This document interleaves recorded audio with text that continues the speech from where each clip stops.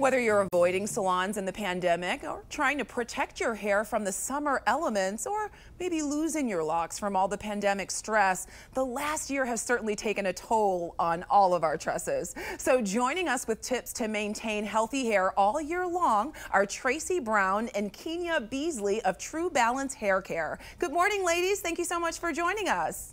Good morning. Good morning. Thanks Thank for you. having us. All right, Keinya, what are some at-home hair tips for women that aren't ready to go back to the salon? Uh, the first thing they want to do is make sure they maintain their moisture. And the best way to do that are with masks and hydrating deep conditioners. If you have curly coarse hair, use something hydrating. But if you have bleached or fragile hair, you want to use a balanced reconstruction. Now, the tricky thing is some of us have extensions. And if you have extensions, you want to keep them hydrated. You want to air dry if you can and follow up with a serum. It's going to protect your locks and make everybody look. Yeah, you have to remember to take care of your extensions too, just like you take care of your natural hair, right? Yes. Yes. yes. Okay, now let's talk about some women who are experiencing hair loss, especially due to COVID. Any tips for them?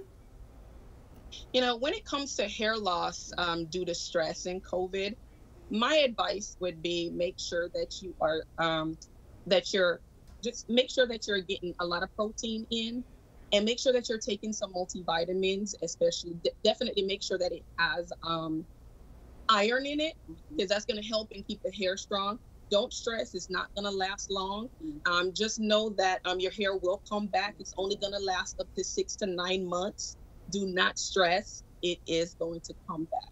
Now, is it better to wrap your hair at night or leave it so that your scalp gets air in terms of hair loss? What's best in terms of uh, sleeping at night? The trick is if some people don't like to cover their hair at night. So if you can use a silk or satin pillowcase, your air and scalp gets to breathe and your hair is not pulling uh, the, the pillowcase will be pulling moisture from your hair like most cotton products do. So silk or satin pillowcases is trick.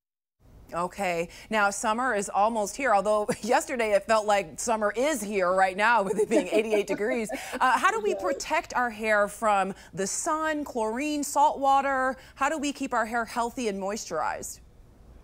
You would um, i would say make sure you use a leave-in conditioner that has sunscreen in it so you know the sun will beat our hair down dry it out i would say before you go swimming make sure you spray some of that leave-in in your hair so that it doesn't soak up the chlorine your hair is going to soak up that moisture and block the chlorine the chlorine when you go swimming well, ladies, these were some great tips. Keinya, where can our viewers go to learn more information and to find those tips so that they can keep their hair healthy?